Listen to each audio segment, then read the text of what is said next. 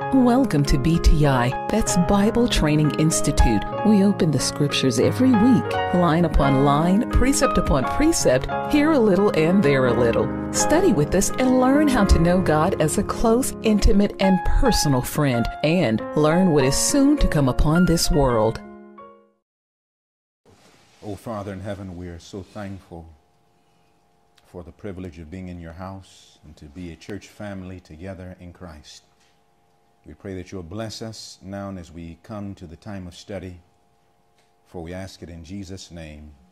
Amen. Amen. Good morning. Happy Sabbath. Happy Sabbath. David said, I was glad when they said unto me, Let us go into the house of the Lord. Amen. I don't know about you, but I've missed you dearly. I don't think you've missed us as much as we can miss you. Oh, I don't know about that. Now they had to put up with me. Is that, that well, that was a good thing. That was a good thing. It's been almost a month. It's been almost a, month, month yeah. since we have been able to stay. We've missed you, Brother Bill. I've missed hearing your comments and all the faces, the lovely faces that are here with us now. Uh, God blessed us you our she time. said lovely faces and pointed that way. Uh, yes. Yeah. Now, so you have, a, you have a strong face, not a lovely face. I, I, won't say you had a lovely face, but you have a, you have a nice, strong face. You know? You're looking like a prophet, too, with the, with the beard there. Uh, but it has been such a tremendous blessing. God bless us in our time of way, and we appreciate your prayers. We could feel the prayers. Uh, God's blessing with us in our Bible conference that we had every year. And by God's grace, hopefully we'll set it up to where the entire church can come at the exact time. So we're working on things to, to make a blessing for all of us by the grace of God. Let's take our Bibles and turn to Malachi. What book did I say? Malachi. We're going to Malachi chapter 3. Are you ready to study this morning? Yes. You've, been, you've been studying deeply for four weeks, no question. But we have to study deeper today. I, am telling you that in four weeks' time, it's almost like six months of studies have transpired. And we are behind in our studies. Things are happening so rapidly that, uh, that I want to get back and share with us what's going on. Are you ready to study this? Yes. No, I don't sound like you're ready yet. Yes. Oh, praise the Lord. you're going to Malachi chapter 4.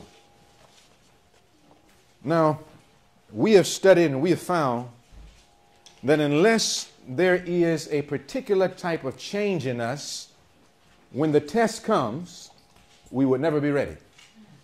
Every time that a person is tested, there's a preparation for a test. Am I right?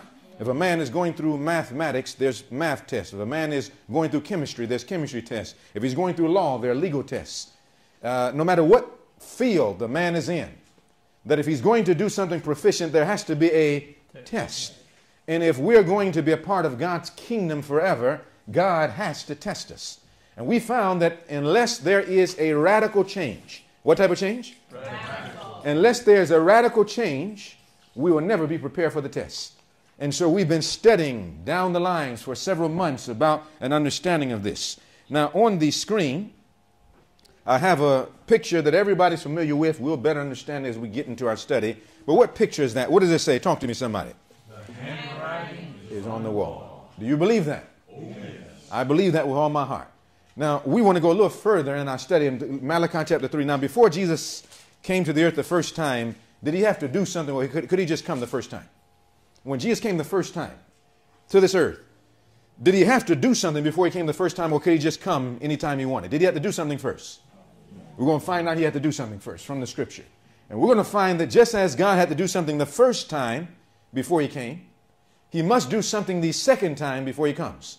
Now look at Malachi chapter 3 and let's notice from scripture what the Bible says beginning in verse 1. You're there, amen?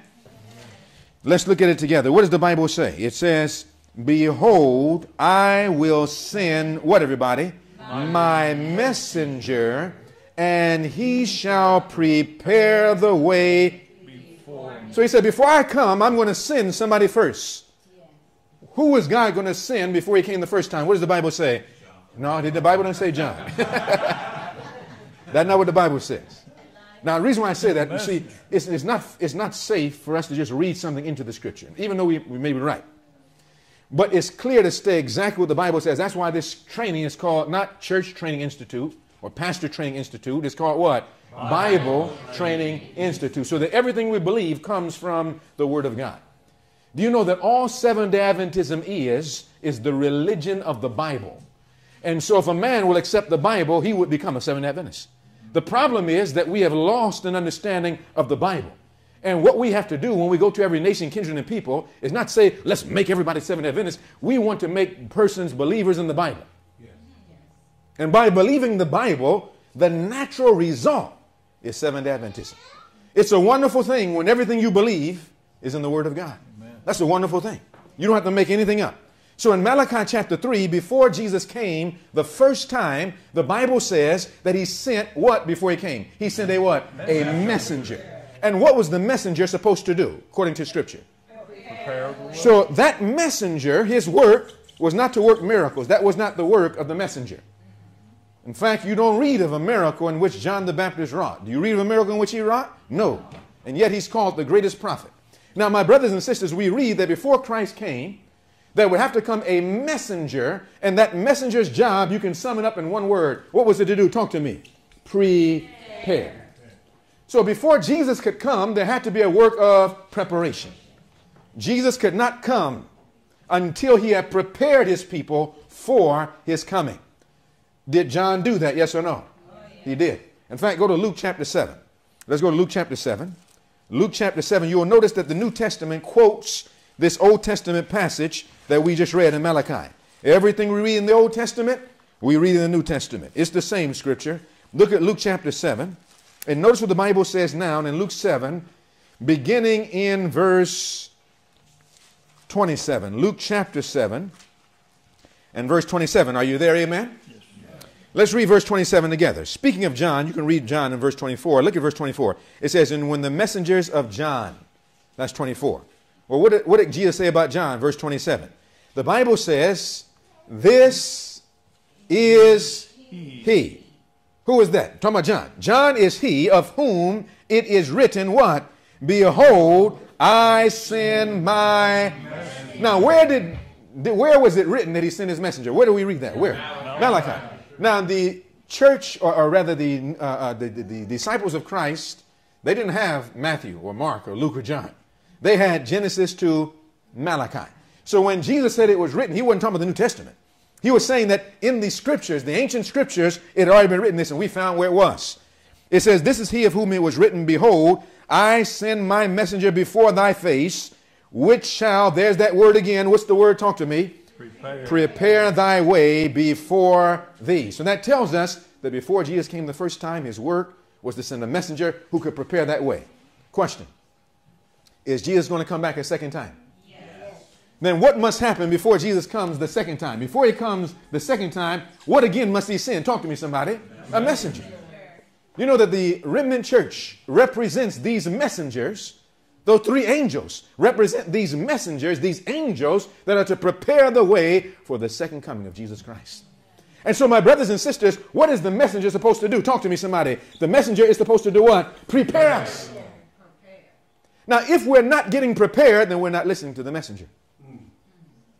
Now, preparation means that there has to be some type of radical change.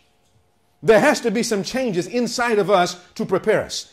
If a man said a hurricane was coming to certain parts of the country where hurricanes come often, and then a messenger is sent to tell them a hurricane is coming so that they can prepare for the hurricane, what do they do?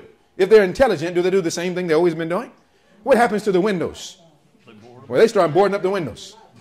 What happens to their waters? And they start trying to gather the waters, trying to make sure they have something in case of an emergency. So there's a work of preparation. So, my brothers and sisters, if a messenger tells us that a crisis is coming, there should be seen in the world and in the church who have the messenger a preparation.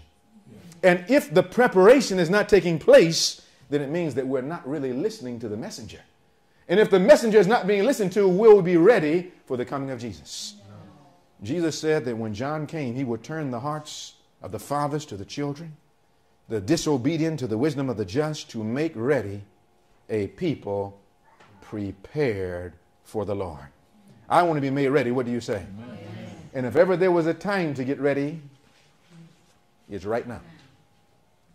I want to read this to us before we really get going this morning. We're really getting ready to study. We, we have some tremendous things to study. I'm, I'm telling you, the things I, if, if, if it were not for Jesus, it would be frightening what we're getting ready to study. Now, my brothers and sisters, go to the book of James, chapter 4. James chapter 4. Now, you know that for the last couple months we've been studying on this subject, the ribbon of blue. The ribbon of what? We're still in that subject, the ribbon of blue, but we're taking a little parenthetical study today because we've been gone for almost a month. You know, if you have an engine and the engine has not been warmed up and you start the engine cold, you know what normally happens? It's hard to start up. you start to cut. It's not, it's not cutting off properly. You know what you have to do to that engine? If it's a small engine, what do you do to it first? Choke it. You choke it. Now, this is a small church, so you know what I have to do to the church?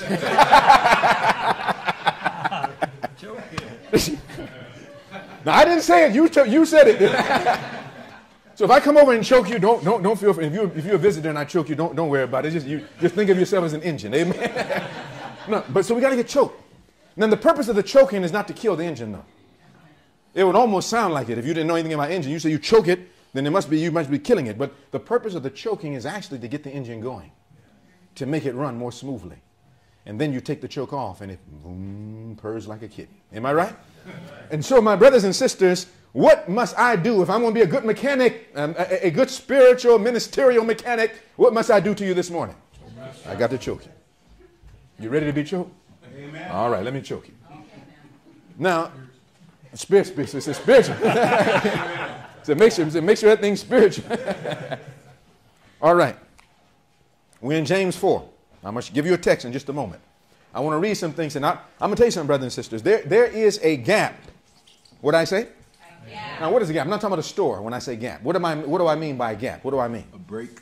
There's a space. A space.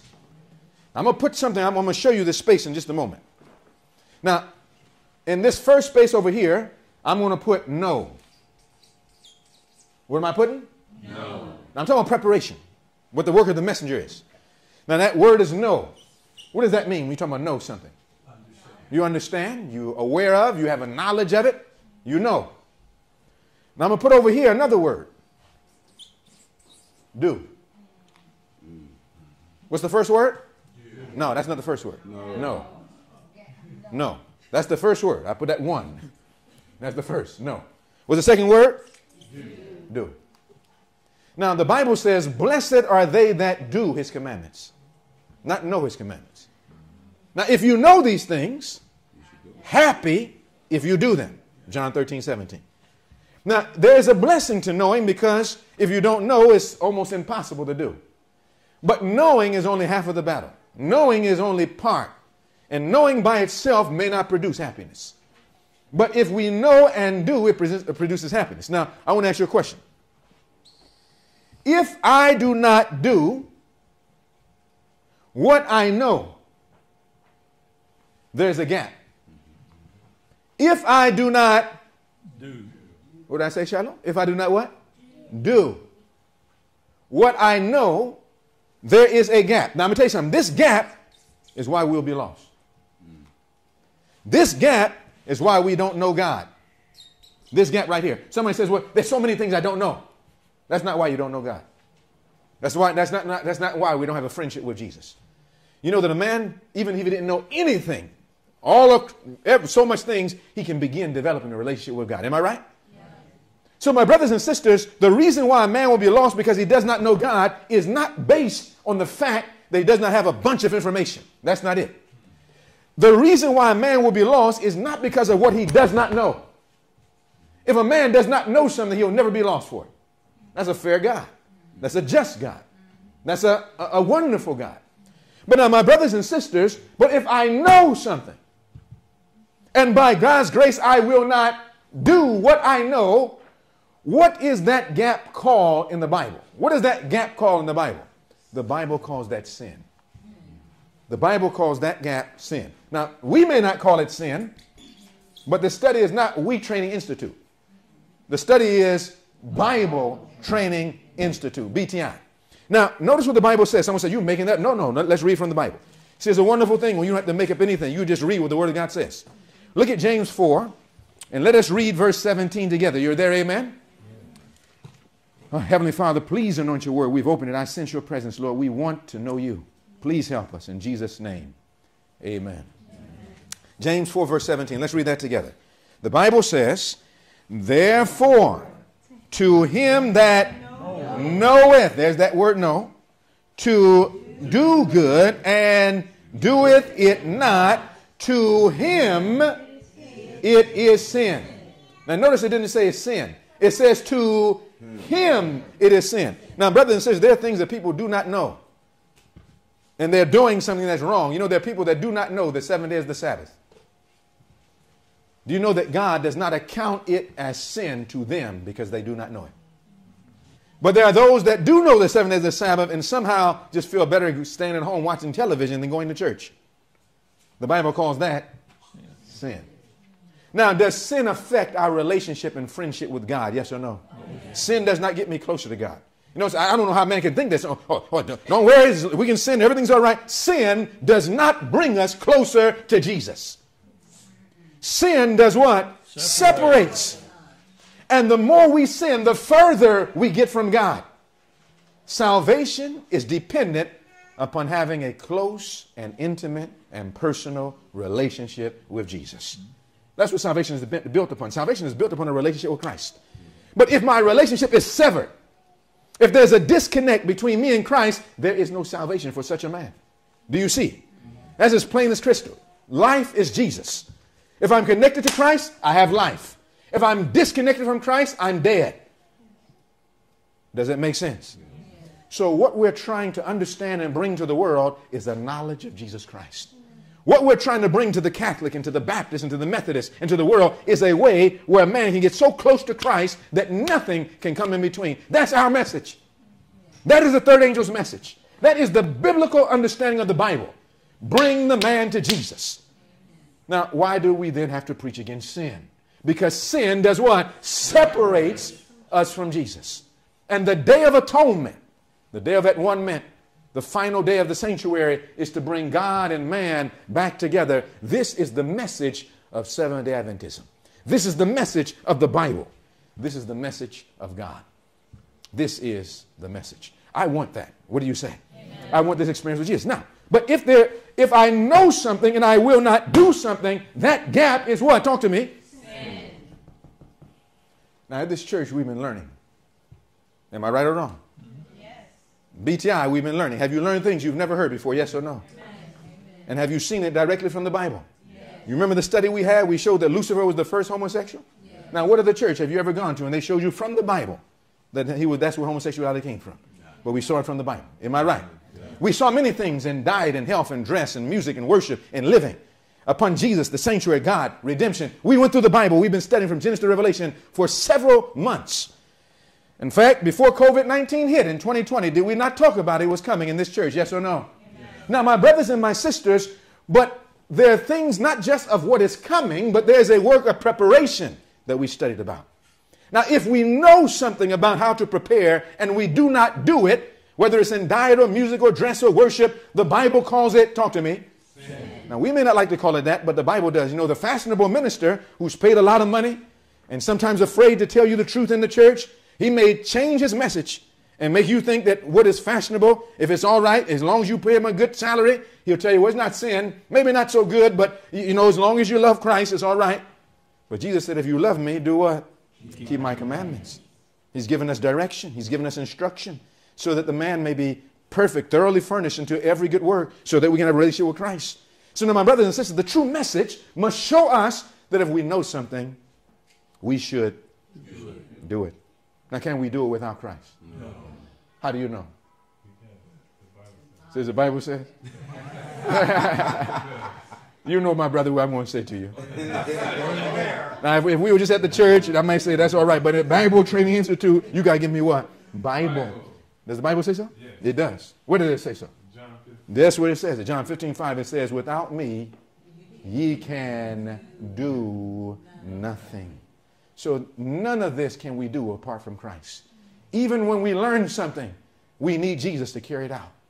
We need Jesus with us all the time. We can never say, Well, I learned enough. Now let me put Jesus to the side. No, sir. No, ma'am. We must have him with us all the time if we're going to get it done. What do you say? I like that. I don't, I'm, not, I'm, not, I'm not upset at that. I'm, i like that. I need him. You, do you need him? Maybe you're good enough you don't need him.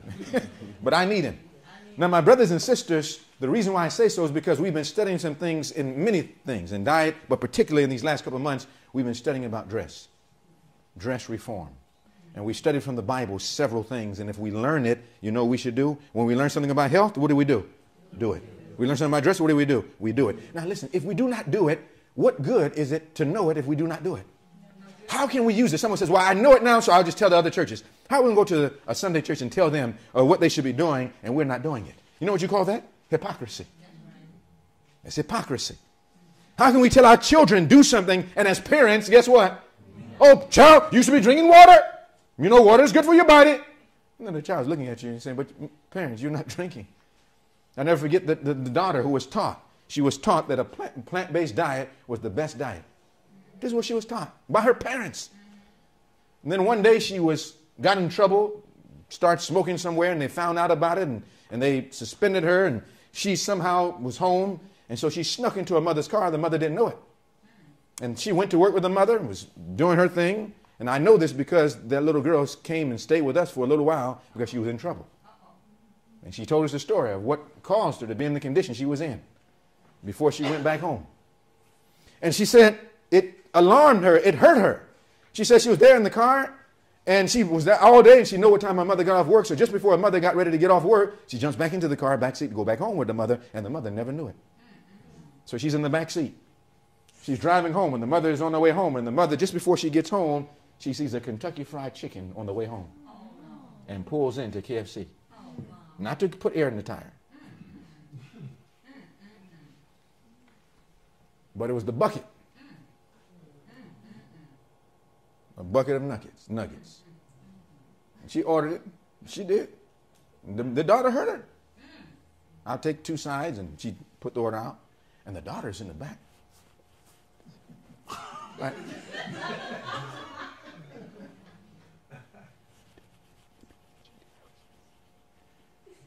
And all of a sudden, the mother starts driving and starts eating mm. the chicken off the bone, tossing the bone, Brother Bill, out the window. Mm. Just before she gets home, she stops off at a trash can, throws the evidence away, mm. grease all over her mouth, but throws the evidence away. And then she gets into the house, and the daughter is stunned, paralyzed. The daughter doesn't move; she just stays in the car.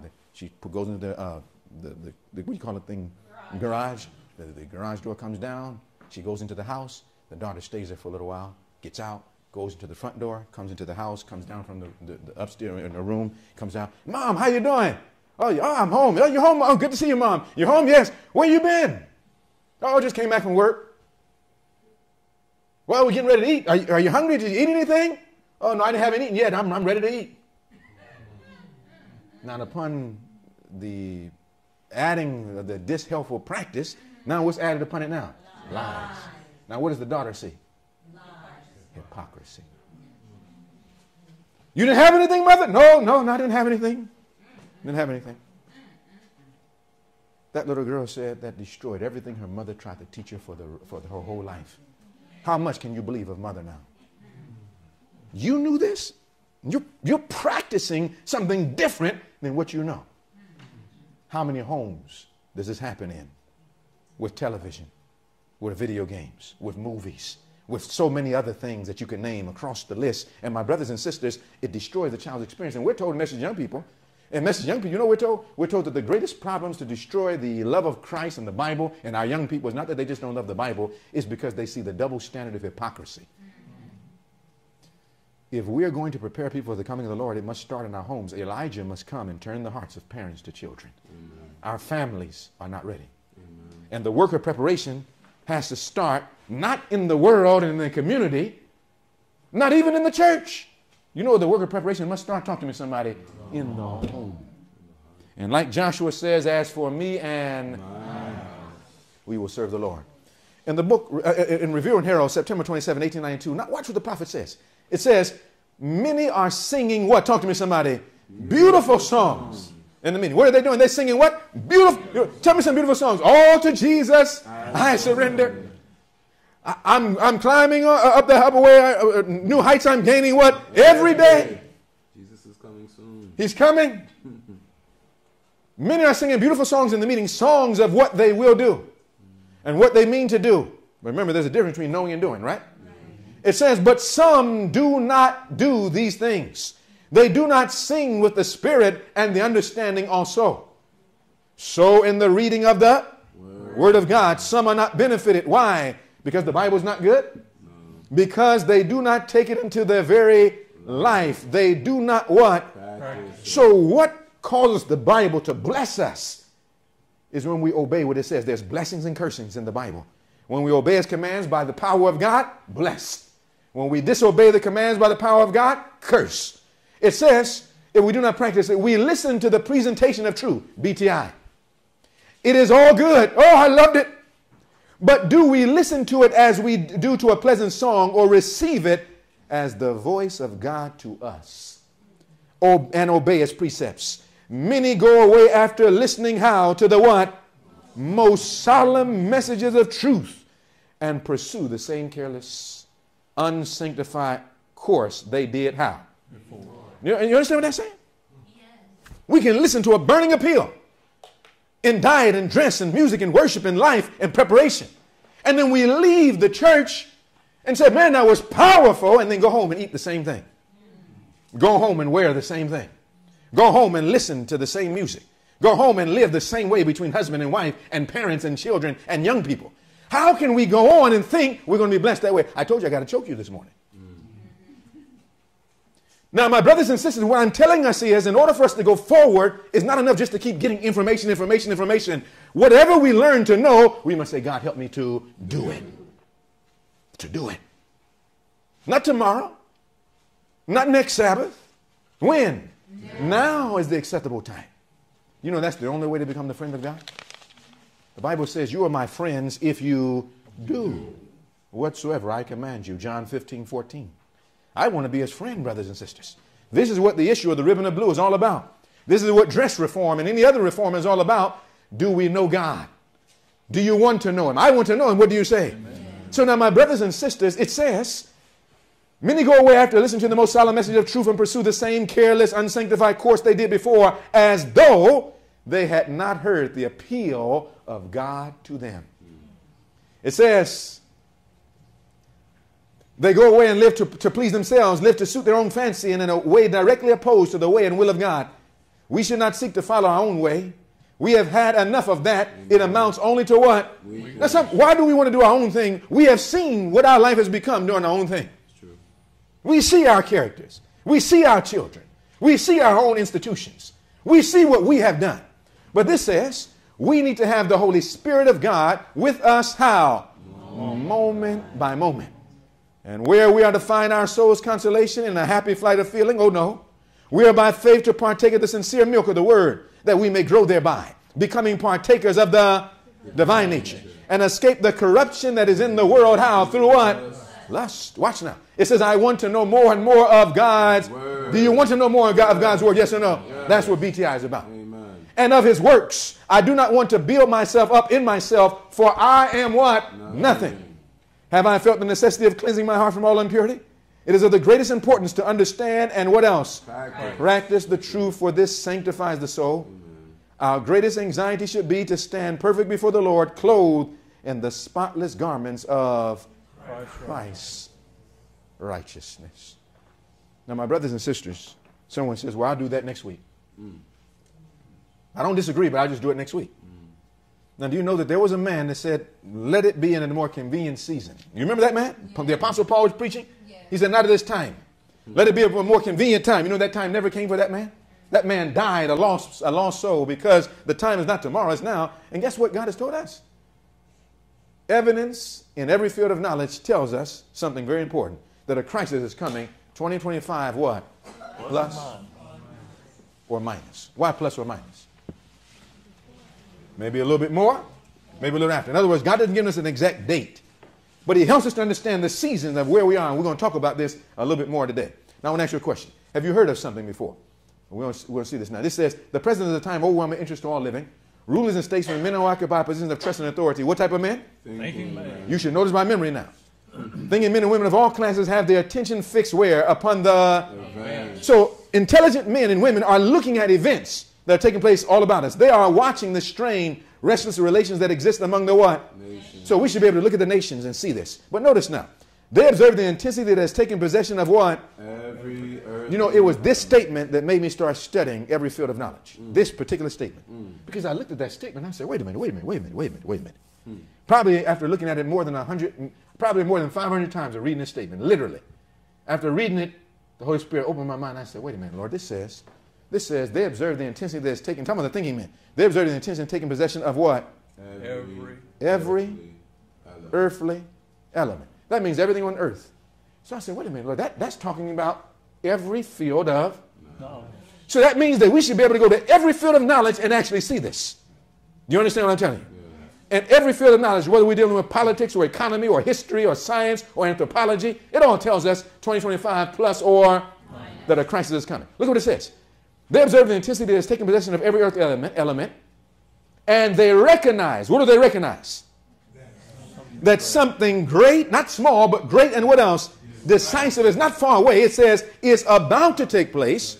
That not America or China or India alone, but that the world is on the verge of a Stupendous Christ. stupendous crisis. That tells us then that the thinking men, by looking at evidences all over the world, sees that a global crisis is on foot right now, just before the world comes to an end.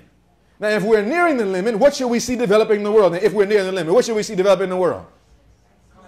A global crisis. Now, I want to ask you a question. Have we seen that? Oh, oh, yes. Now, something has happened in the last few days, right after we left camp meeting. Something happened in the last few days. I mean, I mean, just exactly what we were studying. All over the news that, that is overshadowing the news even to this day. You know what it is? Talk to me, somebody. FBI raided somebody. Talk to me. Who did they raid? Don't say, oh, oh, they raided the roaches. No, no, no, no, no. That's not the raid I'm talking about. They raid who? Talk to me, somebody. Who? Mr. Trump. Now, listen to me, brothers and sisters. That FBI raid on Mr. Trump. And, and notice, what year did it happen? Talk to me, somebody. You better understand that this means something. This means something. And I want us to talk about it. You want to study it? Yes. Because listen, the handwriting, guess what? Is on the wall. Now we're still studying the ribbon of blue. Don't think we left. we're still studying the ribbon of blue. We'll come back to that in more detail. Now, my brothers and sisters, God has given us something. You know what He's given us? A crosshair. Now, why does a shooter, why does a man who's uh, uh, uh, hunting, hunting, why does a man who's hunting have a, a scope with a crosshair on it? What's the purpose of that scope? To look nice? What's the purpose? It's to help him to have what? Accuracy. So now, my brothers and sisters, God has given us a spiritual scope. The eyes of the church, the prophet, the ancient prophets of the Bible, the modern prophet of the spirit of prophecy, all prophets, the eyes of God's church. Now, my brothers and sisters, that is a scope that if we see it, it will allow us to have accuracy in what we're talking about. So if we say that the thinking men see a crisis in 2025, plus or minus, what are they looking at? They're looking at evidence. They're looking at every field of knowledge. They're looking at human resources. They're looking at population. They're looking at climate. They're looking at economy. They're looking at history. They're looking at anthropology. They're looking all over the place. And my brothers and sisters, but do you know that you and I and the, and the remnant church can look at the Bible and the spirit of prophecy and the prophets and say, you know, these men are right on target. You see, brothers and sisters, 2020 wasn't accidental. 2022 is not accidental. What we are is we're going to see as we study today, and we're going to find out that 2025 plus or a little less, a little more is a time of a global crisis. Not only historically, we're going to see it uh, applies also from the Bible. Now, you know what that is right there? Did you read that? What does that say? Best Best Buy. buy. Not best buy, but best buy. Buy what? December 3rd. What's that? Anybody know what that is? What do you, what do you call that? You call that an expiration date. Now, do you know that when a person goes to the store and they see an expiration date, they don't look at them and say, oh, these time setters. they don't say that. You know what they say? It's that, oh, you know, what, I'm going to keep that in my mind. Make sure. Then they go to every now and then they go to the refrigerator. If they don't have it, they can't see it, they put the glasses on. Am I right? And they look at it. And there's some people I know, some people I know, that the moment that it passes the expiration date, boom, they throw it away. Throw it out. Mhm. But expiration dates are, guess what? Plus or minus. You. Know that an expiration date that sometimes the food, now we're going to show you that literally the food is sometimes still good. And the, and the Food and Drug Administration, FDA, they say this. What, what I'm telling you, they tell you. As in the natural, so in the spiritual. That sometimes the food lasts longer than the expiration date. And sometimes it expires before the expiration date. And the only way you can know now that expiration date puts you at the uh, the, the generate. Excuse me. That expiration date puts you at about the time. Are you understanding what I'm telling you? Yes.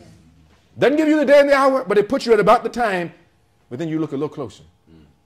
Now I want to ask you a question. What if a person had a, a, a carton of milk, and they're getting ready to drink this, and let, let, me put some orange juice. Let me use orange juice. They had like orange juice. And they're getting ready to drink orange juice, and, and they look at the expiration date, and the expiration date says uh, uh, uh, uh, November 18, 2022. That's still the future, am I right? November 18, 2022. And they look at it, oh, well, I, well this is not expired. We're still, still good. And he opens it up, and boom, on the top of it, he sees green fuzz. And a smell come out. Does he say, well, it says we have a little more time. what would you say to that man? You say that man's unintelligent. You say that man's a fool. You would say that man's a foolish version. Now, my brothers and sisters, no expiration date. Do you eat it or you throw, you throw it away? But there's no expiration date. Sheila, look, she even she got the smile. Sheila, no expiration date. Do you eat that? No, she's not eating that. She's not eating it. And, and she's not she's not wrong not to eat it. She's intelligent. Maybe her parents taught her. You know. So now, my brothers and sisters, you don't eat that. Even if the date says you got a little longer, you know, no, that's minus, brother. That's, right. that's minus, sister. Yeah. So, what do you do in 2022?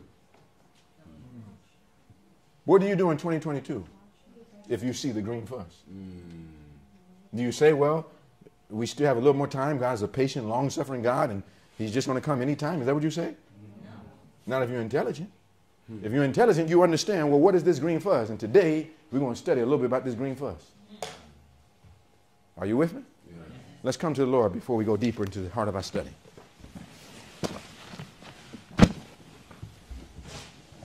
Oh, come, let us kneel, let us bow down before the Lord our Maker.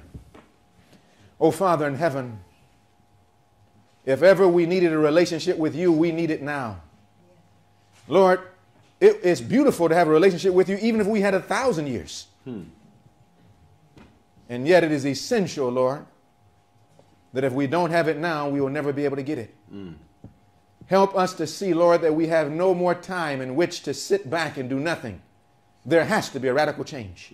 And we cannot do this without Christ. There has to be a work of preparation. And any church we go to, it should be a church that helps us to prepare. We should not sit down fashionably at a place just so that we can go and say we were there because we're supposed to be there. We should go to a place where the messages are preparing us for what is soon to break upon this world as an overwhelming surprise. And then to be used to reach out to help other church members, to help others in the community and the world so that they too can find a relationship with Christ and in his way of life that will prepare us before it is too late. Lord, as we continue in this study of the ribbon of blue into this little section the handwriting on the wall for today. We pray, Lord, that you will open up our minds and hearts, that we will hear your appeal, that no longer we will, will we stay in this gap of knowing something but not doing it, which is sin. But that we will say, Lord, today, help me to hear your voice and not harden my heart, but to obey by your power. Lord, we come to you right now. Please remove me. I'm fickle, I'm feeble, I'm frail. Speak to me and to us as we study this handwriting on the wall. Abide with us now, we pray and we thank you. For we ask it all in Jesus' name. Amen. Amen. If you'll take your Bibles, we want to jump to the heart of our study this morning, to the book of Daniel. What book did I say? Daniel. We're going to the book of Daniel, chapter 5. If ever there was a book to study in the last days, it's the book of Daniel. We're told that the book of Daniel and Revelation should be understood as never before in the history of our world. Go to Daniel chapter 5. And one of the reasons why this is so important is because that never in the history of our world has there been a generation that has evidence as clear as our generation of an approaching crisis. Now, do you know that in every generation there has been a crisis? You know that, don't you?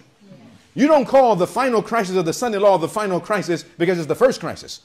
You call it the final crisis because there was a crisis before that, and a crisis before that. You will find in the Bible that in every generation there is a crisis. But the final generation is the worst crisis, such as never was to hit this planet. Now, every generation has evidence before a crisis comes. That's just the nature of God. He's a loving God, and love warns before it allows a crisis. Does that make sense? Before the crisis of the flood, what did God do? He sent a messenger called Noah. And Noah warned of that approaching crisis. Did he not? Did everybody prepare? They did not. And as a result, many of them, the majority of them, were lost. But it wasn't because there was not a message of preparation, a message of warning. God always warns. What about Sodom and Gomorrah? was there a crisis? Did God prepare them for the crisis? Did God send messengers, human and heavenly, pulling literally Lot and his family out by the hands and still the majority of the family didn't make it? Now, my brothers and my sisters, this is telling us that God in every generation, I could go down the list and continue. But my brothers and sisters, do you know that this generation has more evidence than all of those generations combined? Now you say, what do I mean? Now look, every generation has signs. God gave signs to every generation. But do you know that in the final generation, not only has God given us clear signs, but also the signs of those generations.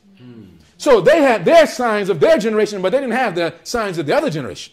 But the final generation can take all these generations and look at their signs, and look at their evidences, and look at their destruction, and then look at our signs and our evidence and combine all of it and say, Lord, this is the word of the Lord to me, admonition upon whom the ends of the world are.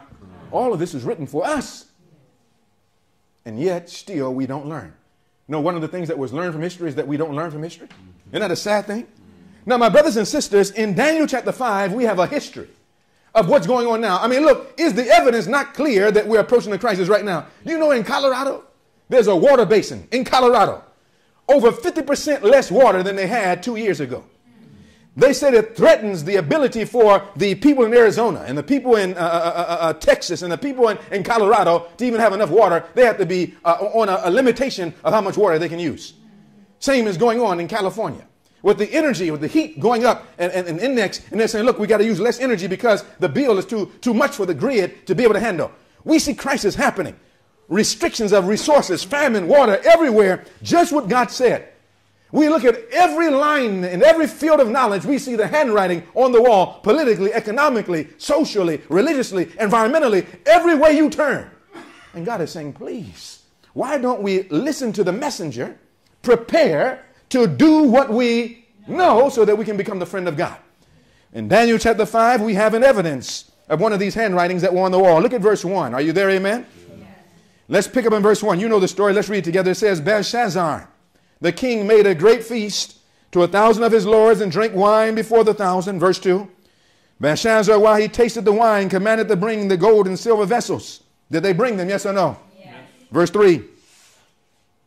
Then they brought the golden vessels that were taken out of the temple of the house of God, which was at Jerusalem, which is a very deep point, but we don't have time to study that. They drank out of them. Verse 4. They drank wine and praised the gods of gold and silver, of brass, of iron, of wood and stone. Were they solemn or were they careless? careless. Can you imagine them watching Netflix? I mean, they're just sitting on the couch watching Netflix, one after the other. You can just see them throwing popcorn in their mouth. You can just see them just playing the music. You can see everything in the world happening. And then all of a sudden, something changes the course of history. And verse 5, the Bible says, In the same hour came forth what, everybody? Fingers of a man's hand and wrote over against the candlestick upon the plaster of the wall of the king's palace. And the king saw the part of the hand that wrote. You know, the Bible says his countenance changed. You know that, that once proud king and boastful king, who is this God? He now sees that bloodless hand and his courage escapes him. And all of a sudden, his knees begin to knock. My teacher used to call it the Belshazzar knock. He just, just, just, just, he just, he can't, he can't even help himself. The Bible says that his loins were loosed. You know, that was, let me just make it plain. When it says loins was loose, he used the bathroom on himself. That's what the Bible was saying the man used the bathroom on himself. He was so afraid. You know, when a dog gets afraid, or a snake gets afraid, or any animal gets afraid, you know what they do? They use the bathroom. And do you know that when man gets afraid, you know he does too? He releases the bowels. Now, my brothers and my sisters, this man, you know, I'm telling you something. You know, every seven Adventist now, every, you can see the majority of seven Adventist today, even if a man's sincere, he may act like, well, you know, I don't care about the Sunday law in the time of trouble. And I'll do what I want. I, I, I, I don't care about this. I'm going to tell you something. When that same law is passed, not one seven Adventist will say so. Not one Adventist child, not one adult. Every child will wake up. Video game, he throwing that thing down. He, he care less. He's now interested not in Snapchat or Instagram or Facebook. He's interested, do I know Jesus? But for the Seventh day Adventists, at that time, it will be too late. This is why we got to be choked, spiritually choked, so God can get us to run smoothly. Not through just literally choking us, but by helping us to get a grip. Am I taking life serious? What should a profit a man to gain the whole world then to do what? Lose his soul.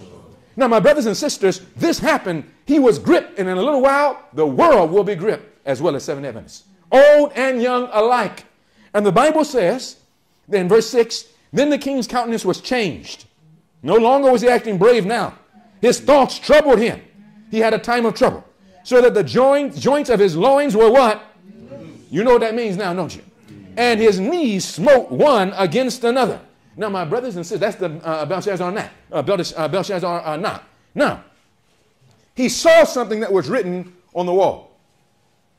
Anybody remember what was written on the wall? There was an expression. He didn't just do that. There was an expression. What was the expression? Talk to me. I, I, I, saw a little sister back. What's your name, sister? Biana. All right. What's, uh, what's, what, what, what's, what's my sister's name again? Gianna. Oh, that's, that's nice. Brianna and Gianna. All right. Now, what was written on the wall was an expression. What was? Does anybody remember? Any, any young person remember what the expression was? Shiloh. You remember what the expression was? It was written. Micah. Mene, mene. What else? Tekel Upharsin. Let's say it together. Mene, mene. Tekel Upharsin. Now, when Belshazzar saw it, he did not understand what that meant. See, it wasn't written in Hebrew. It wasn't written in the Chaldean language. Daniel interpreted many so that he could understand it, but that's not what it was. The language was a godly language. They didn't know anything about it. Now, my brothers and sisters, they looked at it, they knew something meant it was serious. I mean, imagine if you saw a hand, a bloodless hand, come in and start writing on the wall, you say, Now, uh, Elder Smokey. I said, Now, who, who, who did you have in this church last? If I came in, I, I mean, some, some, some, some stuff was going on in here. So that man, he recognized this is not normal. He didn't know what it meant, but he knew it wasn't normal. Now, my brothers and sisters, they call in Daniel. You know the story. I don't have time to go through the history. That's a familiar story. He comes back in. Now, Daniel is brought in to solve this problem of the highest nation of the world. And when he comes in, the king says, What does it mean? And Daniel reads, Mene, mene tekel And Watch what Daniel says. Let's skip the story. Go down to Daniel 5. You can read it when you get home. Look at verse 24. You're there, amen? amen. verse 24 together. It says, Then, are you there, amen? was the part of the hand sent from him, and this writing was written. Well, what was it? Verse 25. And this is the writing that was written, mene, mene tekel and Now, mene is double. And in the Bible, something is double, not because it's a different word.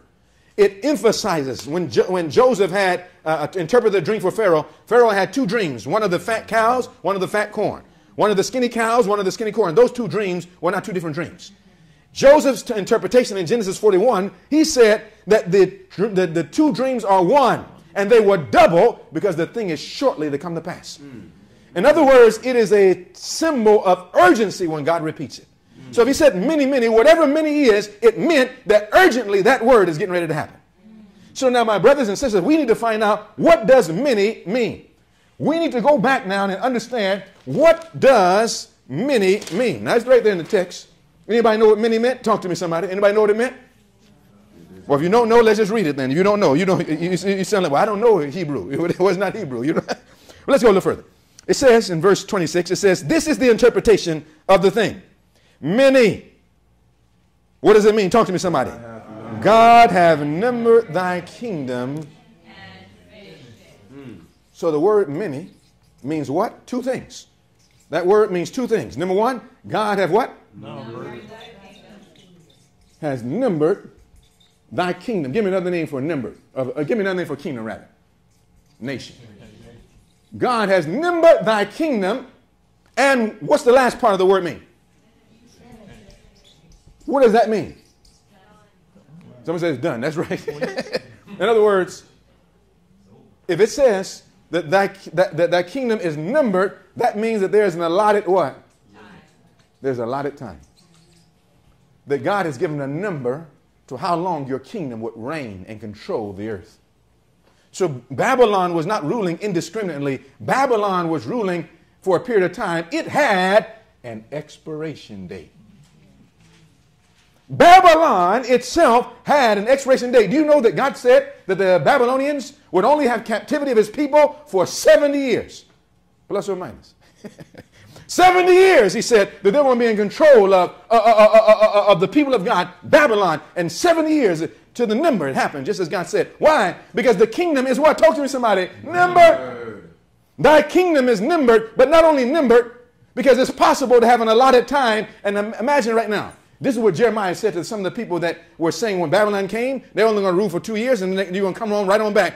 Babylon, Jeremiah said, don't believe him. Mm. God says 70 years, don't believe him. And he, he first he had a wooden uh, yoke, he put on a metal yoke and said, break that off. They couldn't break it. So they broke. See, some, some false prophets came up and broke the wooden yoke off of Jeremiah and said, look, just as we broke that yoke, we're going to be able to break the, the captivity of, of, of, of Nebuchadnezzar and Jerusalem, uh, uh, of Babylon. And, Nebuchadnezzar, and God said, no, no. So Jeremiah said, I, I, I got something for him. He put a metal yoke on. They came to that metal yoke. Guess what you can't, you can't, you can't break that metal yoke. He said, just as that was so, that's how the captivity will be. You won't be able to break it until God says the allotted time has come to an end. Now, my brothers and sisters, they tell me something. What if it was the third year of Babylon's reign? Is it time for it to come down? No. Has it reached its expiration date? No. But now, what if I come to the 60th year? Are we getting close? Yes or no? But when you know I come to the seventh year, I've come to the limit. That kingdom is numbered and is finished. Are you following? So, what this mene, mene was saying is number one, Babylon, you have ruled as long as God has given you a power to rule, and now your kingdom is getting ready to come down. Mene, mene, because it's shortly getting ready to take place. And that very night, mm. that very night, the expiration date was reached. Mm. Now, my brothers and sisters, all of these things are left on record for us. But you know what happens? We read the stories of the Bible as if they have nothing to do with us in this last generation. Oh, that's a nice bedtime story to tell to little Micah and to little Selah and to little Maya. That's such a nice story for Brianna and all the rest. But no, this is for you and I to prepare our homes for what's about to take place. Now, my brother and sister, watch now. There is a what? There is a what? There is a what? Now, we looked at these quotations many times, so I'm not trying to really study that. We've studied this before. What I'm trying to show us is over and over again through the spirit of prophecy. You see the word, you can just look up the phrase, there's a limit, and find hundreds. Reference at the reference at the reference at the reference telling us that God has a limit. But it's amazing. Then somebody says, Well, I wonder what that means. well, it means God has a what? Limit. And this limit applies not just to an individual, but to nations. Look at what inspiration says. Uh, in education, page 178, it says, the history of what? Nation. Not nation, Babylon. It says nations. That one after another have occupied their allotted time. Now, that tells me something if I'm studying correctly, if I'm studying deeply. You know what that tells me? Every nation has a limit of how long it can last. It says the history, not of a nation, of nations, talking about the world, that one after another have occupied their allotted time and what else? I wonder then, does Babylon have an allotted time? Yes or no? Yes. Medo-Persia doesn't have an allotted time. Greece did it have a lot of time. Pagan Rome did it have a lot of time. Papal Rome did it have a lot of time. 1260 years, a lot of time. And then the deadly wound. America does it have an allotted time? Now it's amazing that we see all these other nations have this allotted time, and then we come to America. Oh, well, America doesn't have an expiration date because it's America. We're in the West. That's what Russia is saying. That the rest, the West has no idea. There's a, a, a boldness that the West has that's, that savors on foolishness. Mm. Now, I'm not in agreement with Putin. Now, don't get me wrong. I don't agree with his position. I'm trying to explain that the world recognizes that the West is not thinking straight. And the East have been confused by the West. well, that's another study. But it says that one after another have occupied their allotted time and place unconsciously, witnessing to the truth of which they themselves what? Knew not. So do you know that sometimes a person, historian, the writer says something but doesn't know what he's saying? It says, speaks to us. So though it's written, it speaks to us. Though it's the history of those nations, it speaks to it says to how many nations? Every nation. So what this is talking about a lot of time applies to how many nations? Every. To every nation and to every individual of, of today, God has assigned a what? Place in his great plan. Today, many nations are being measured by the plummet in the hand of him who makes no mistake. All are by their own choice deciding their destiny, and God is what? Overruling all for the accomplishment of his purposes. So now, my brothers and sisters, my question is the prophet says that every nation has an allotted time. My question is, does the Bible say that? Because what we're studying here is that everything that is written in the prophet's writings are in the Bible. And everything that the Bible says, the prophet says, and everything the prophet says, the Bible says. Do you believe that? Yeah. Well, then you're almost a Seventh day Adventist. now, notice what the Bible says in Acts 17. Let's, let's see from the Bible. Go to Acts 17 quickly now. Go to Acts 17. We're, we're doing a little review to warm our engines up so that next week we can take off firing. But it's just a little warm up for next week by the grace of God. Go to Acts 17. And by God's grace, next week we'll be ready to study more deeply. Are you ready? Yeah. Acts 17. Go to Acts 17 quickly. Acts 17, we want to pick up now in verse 29. Look at Acts 17 in verse 20. Uh, let's, let's pick up in verse uh, 23. Acts 17, verse 23. You're there, amen? amen? 24, excuse me. Acts 17, verse 24. It says, God that made, what's the next word? The world. the world and all things therein. So what is he talking about now? It's the Bible says God that made the world. So he's dealing not with one nation, he's dealing with what? The and the world composes how many nations? All. all nations, every nation. So the Bible says God is dealing with all the nations. Watch now. God has made the world and all things therein, seeing that he is Lord of heaven and earth and dwelleth not in temples made with hands. Jump down to verse 26. Verse 26 says, and have made of how many blood? One, One blood. What's the next two words? Now, question. Now, God defines what the world is. What does the Bible explain the world is? Talk to me, somebody. All nations. Now, if I deal with all nations, what am I dealing with? Well, I'm dealing with the world. So, whatever he's telling us about the world applies to every nation on the world. Because remember now, the prophet says that the history of nations to every nation. So what we're doing is seeing that everything that prophet says, we can go right to the Bible and prove it. See, it's a wonderful thing when everything you believe is in the Word of God. All Seventh day Adventism is, is the religion of the Bible. And God is trying to help us to understand Bible at BTI, at Bible Training Institute. Now, notice now. It says the world, which is all nations. Uh, let's continue verse 26. And it made of one blood all nations of men for to, talk to me somebody, for to dwell. What does dwell mean? Live. So all nations are to dwell or live for a period of time. Let's see. It says, have determined the what? Times. Have determined the times before appointed and the bounds. bounds of the habitation. So concerning all nations of the world, for men to live in it, God has determined two things. What's the first thing he's told us about every nation? They have a time what? What does the text say? Time what? Before.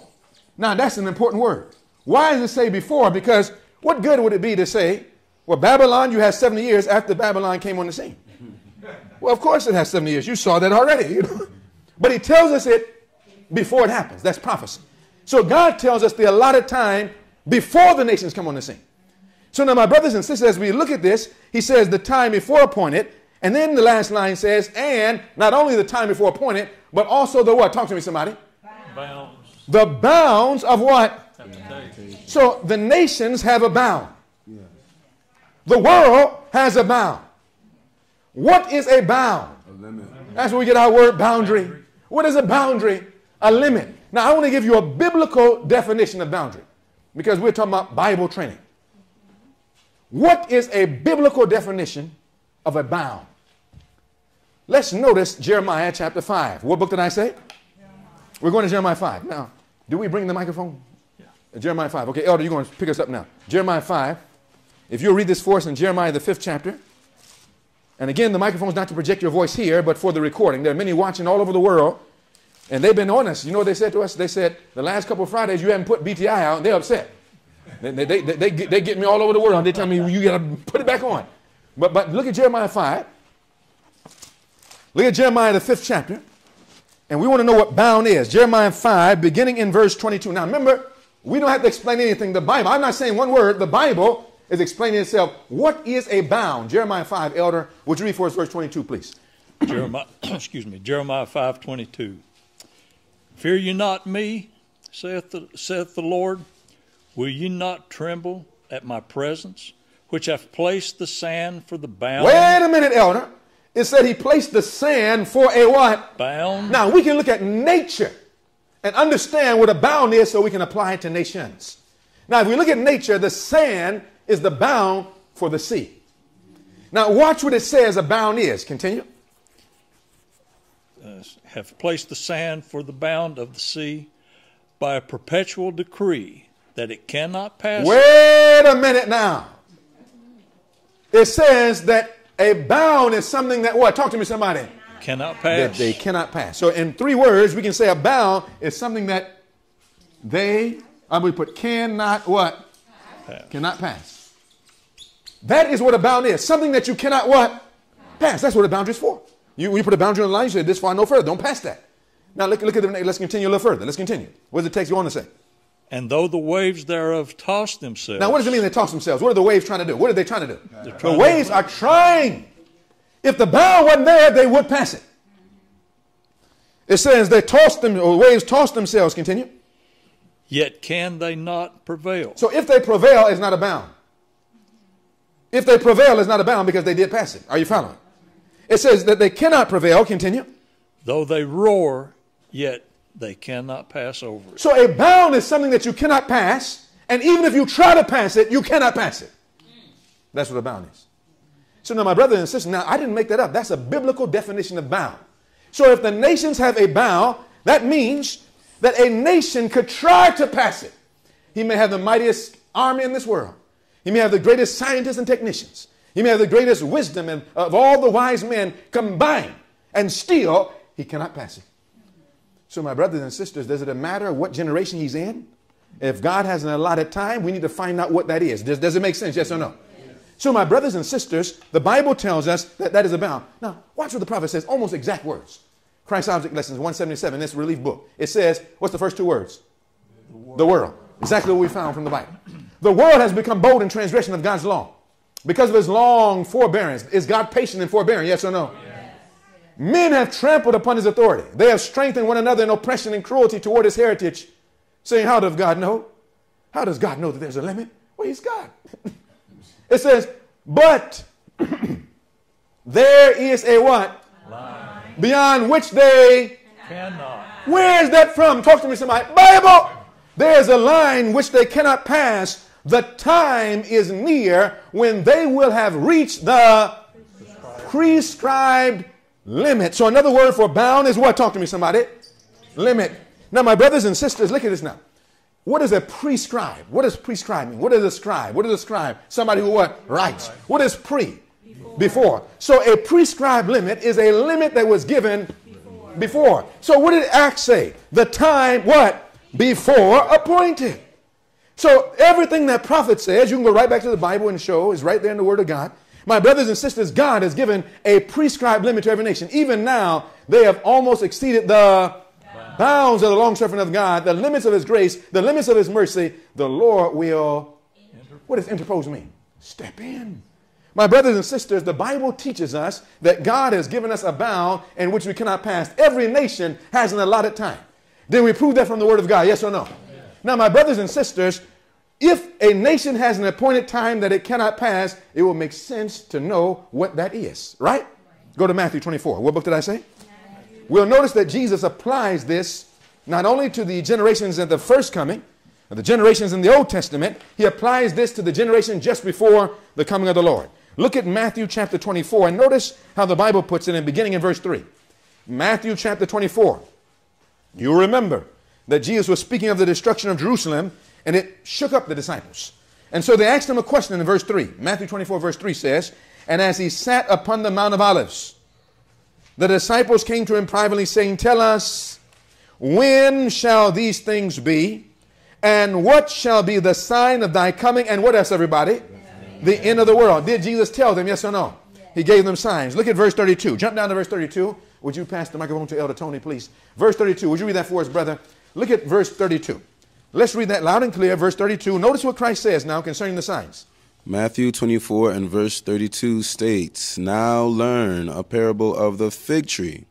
When his branch is yet tender and putteth forth leaves, You ye guess. That's something. know. Not guess you what? No. Now, if we know something, we should do something about what we know. Am I mm, right? that's right. Now watch. He said, You know that summer is what? Is nigh. Is nigh. What does nigh mean? Near. All right, Sister Melissa, verse 33. So likewise ye, when ye shall see Stop for a moment. It says, So like ye. So likewise ye, when you shall, what's that next word? see Now, I want to ask you a question. That word see, does it mean invisible or visible? visible.